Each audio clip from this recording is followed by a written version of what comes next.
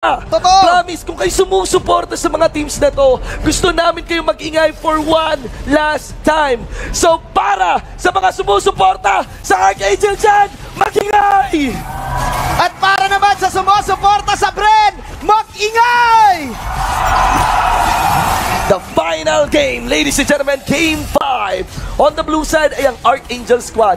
Kiluwash para sa limod natin. Jay on to the Kaja, Rio for the Gushon, Lusty on the Grab, and Jeff Cutie forever for this cat. Yuji ang gagamit dito, syempre ng Lunox Coco bilang ang Hanabi Pain, ang Kukra Haze, ang Minotaur at si Paring Rivo. Rivo sa kanyang thumbs. Eto na paring Oo, Shibu. pre. Nagkakalabasan na ng mga best picks dito. Oo, oo, oo. First time natin nakita ang cushion Yeah. sa laro. Yeah, yeah, sa, sa ating series dito Sa sa, ating ating best series. of five.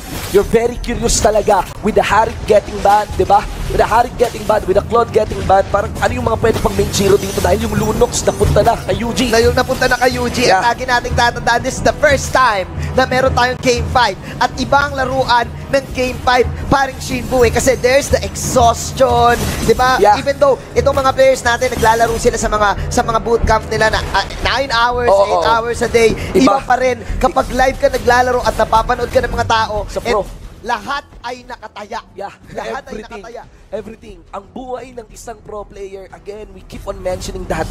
Dami Yes. nating pro players ngayon. Ito ang lugar sa Pilipinas na may pinakamataas na MMR. Okay, itong Lepa Billion. Oh my Again, G. ang buhay ng isang pro player, you give it Magkaiba. your all. You give it your very Yes. best. Pero para maging champion, It's- kulang ang best. It's either you win Mm-mm, or or, you, you lose. lose. Yun lang ang dilemma ng mga pro player natin dito. Ito na ba ang download game ni Coach Panda? Onting information lang Kuya Shinbu. Si Coach Panda kasi parang umpisa pa lang nung series, nagbigay na siya ng mga predictions ng Oo, mga drop. yeah. Kumbaga, lahat ng Nostra ng drop, sinulat niya, nilagay niya sa libro. Yes, Ganon yes. na ganon. Yes, as in, uh, actually, umaabot lagpas 50. Di ba? Ang output ng yung, drop, uh, yung oo. scenarios na ni-roll out ni Coach Panda dito, Yun na nga. will that be enough?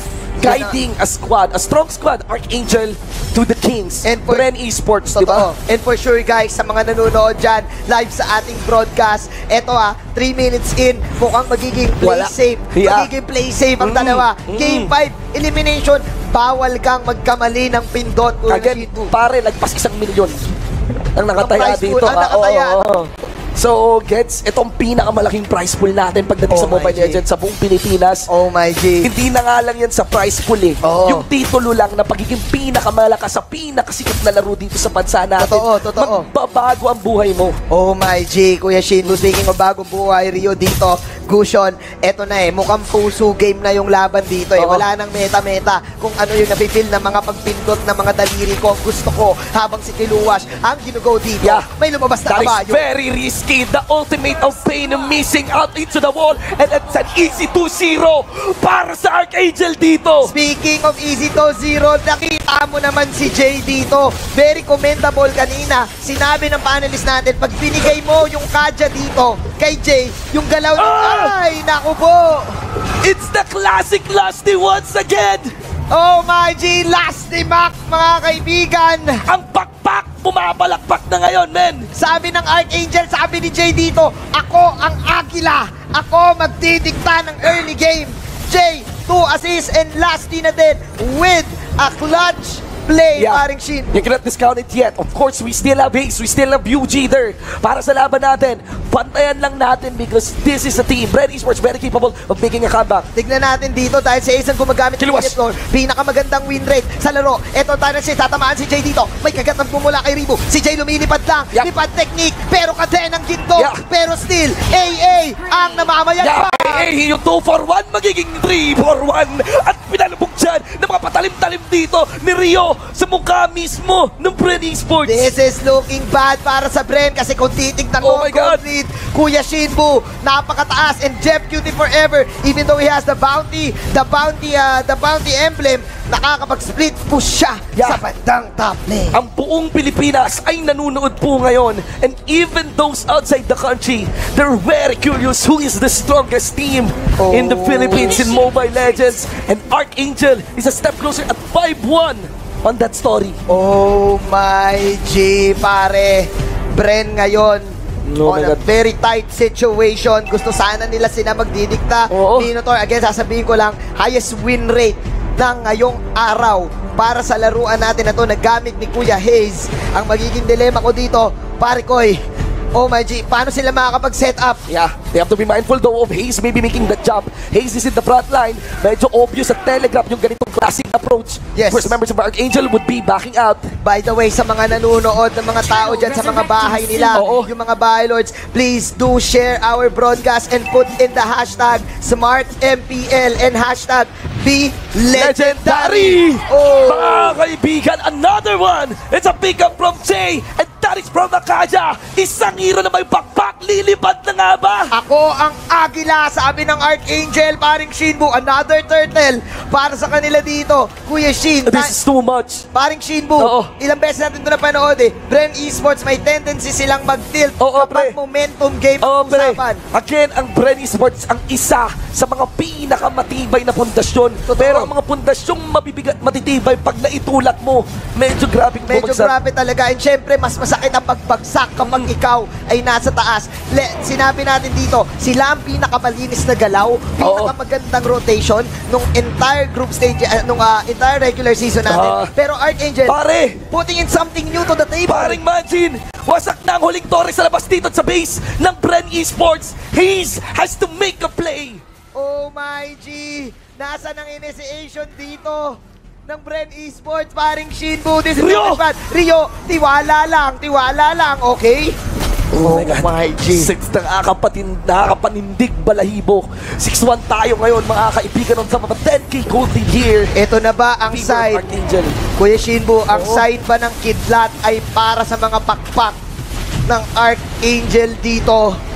This is looking bad, friend. Esports, 7 minutes. Ang tagal ng mga games natin kanina. Pero dahil sa aggression na ginawa ni Kuya Jay, look at this. 5 assists, paring Shinbu. Yeah. More than 90% ang Yes. kanyang kill participation the first 7 minutes. Yes, the utility of this gadget, the surprise attacks, ladies and gentlemen, it has toned down. But again, Archangel has a better control nitong ating mapa ngayon against Bren Esports. Still, any massive ultimate Yes. would be Is the crucial. game-changing, oo, game-changing scenario para dito sa Bren Ay, Esports. y- dude, parang Nanini- naniniwala pa rin ako doon. Ngayon, parang nagigets ko na ata ang Gusion pick dito ng Archangel. Oo nga eh. It is actually uh, a pick para mahuli si paring Coco dito on the backline. Ang, mag ang akala dito ng Bren Esports, si Kilua siyang magpa-flank. Pero meron ding ganong ability, yung Gusion.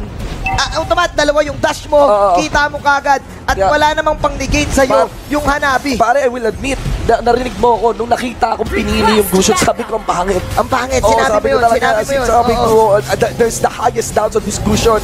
But this is clearly proving us wrong. 4-0-2 onto Rio. Oh, my leading his teammates. And the best item for the Gusion, Concentrate. concentrated energy. Holy Trinity para sa Gushon. Lightning Transient Clock of Destiny on top of that concentrated. Eto na, tiwala lang gusyon. Ang sinasabi dito ng Oo. Archangel, paring Shinbu, tinawag na ng mga anghel. Yeah. Ang Panginoon, ito ang yung, Lord. ito yung Lord in game. Outside the game, everybody's praying here at the Le Pavilion. Whatever the come out, the, the turnout will be, Oh this is my. gonna be very, very big part of the MLBB history. Oh my G, walang download, download ngayon kay Coach Panda. Naka-Ultra Instinct, Kuya Shinbu. Tandaan mo, ang Ultra Instinct nagpakulay, naging puti ang buhok. Yon ang pinakamalakas na form ni Goku sa Dragon Ball.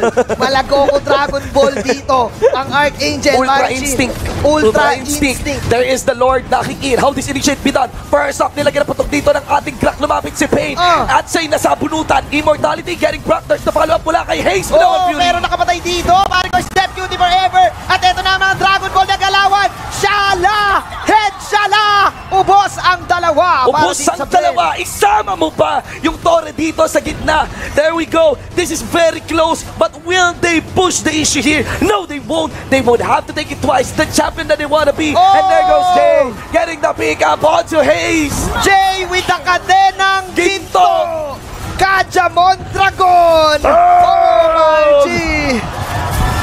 Yung Mayanig. Archangel. Yung Mayanig. Ang Le Pavilion.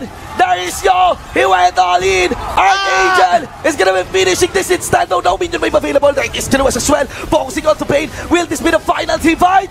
Oh my G, Ribo ang natira dito kumakagat. There Pero we go! siya, si Kapitan ang natira. Lipad! Archangel, lipad!